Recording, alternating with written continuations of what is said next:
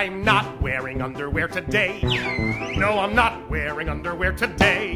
Not that you probably care much about my underwear, still, nonetheless, I gotta say that I'm not wearing underwear today.